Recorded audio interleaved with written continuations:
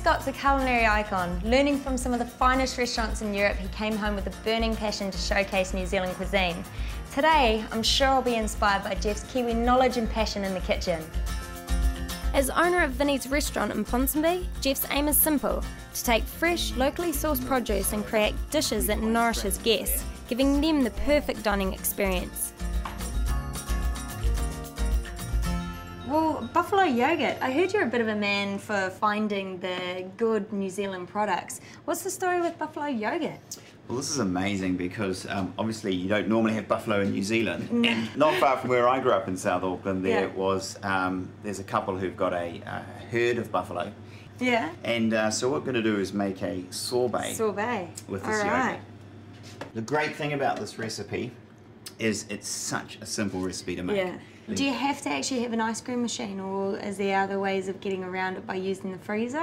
Absolutely. Yeah. And even if you don't have an ice cream maker, it's really cool because you can put it into the freezer in a metal container. Yeah. And as it starts to set, take it out, give it a really good whisk with um, uh, a whisk, or you can put it into a, uh blender and Yeah. then put it back into the freezer, and that'll help give the creaminess. So all you need to do is combine the icing sugar, and that's 180 grams of icing sugar, Yeah. 350 grams of the buffalo yogurt, and over here we've got 70 mils of milk, Yeah. 70 mils of cream, Yeah. and uh, your carefully squeezed lemon Perfect. juice. Away you go, my dear.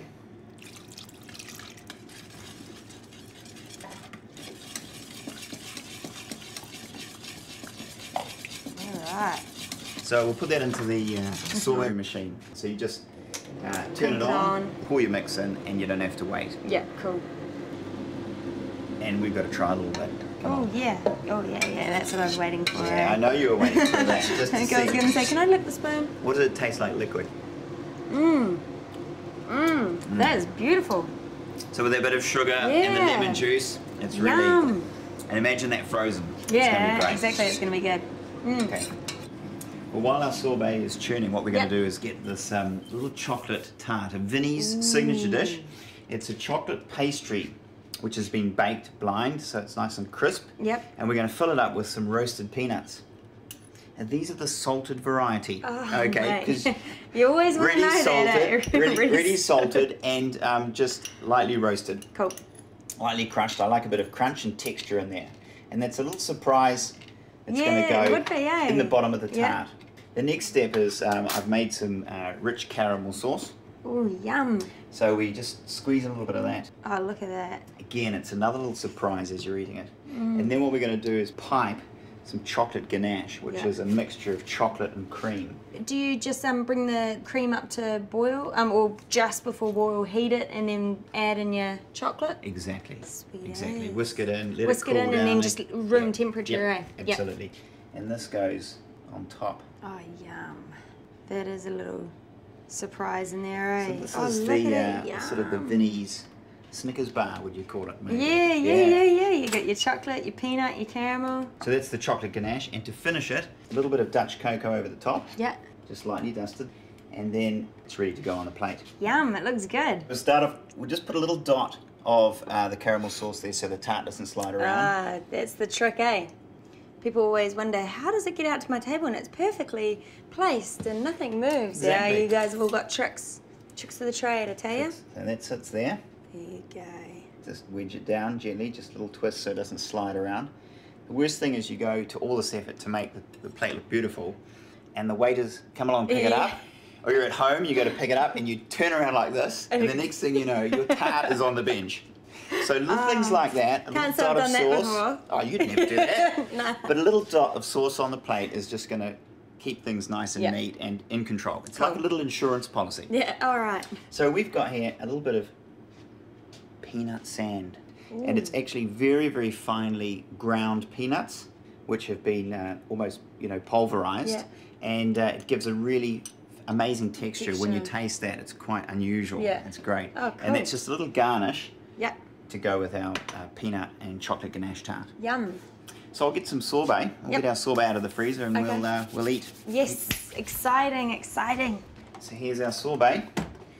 all ready to go. Well, it looks like sorbet to me. Well, the most important thing before we serve anything at Vinnie's is to make sure the taste is spot on. Yeah. So I'm going to get you to be the judge. Ooh, okay. And tell me if this is up to scratch and whether we can serve this with Okay. our, our chocolate tart.